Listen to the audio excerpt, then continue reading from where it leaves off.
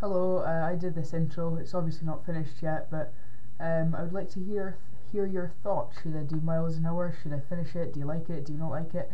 Etc. Etc. Thanks. Bye.